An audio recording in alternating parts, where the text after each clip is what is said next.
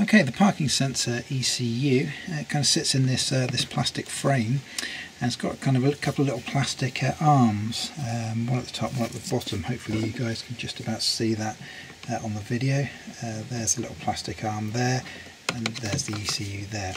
So what you want to do is just lift that, grab that that plastic arm, lift it up,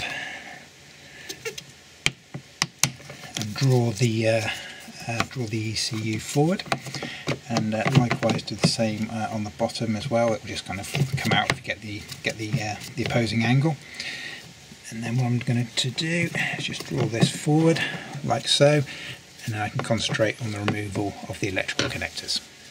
Okay, for the removal of these, you've got a little security tab, uh, just push that down, give, give, it a bit of a wobble, and these will uh, pop out like so.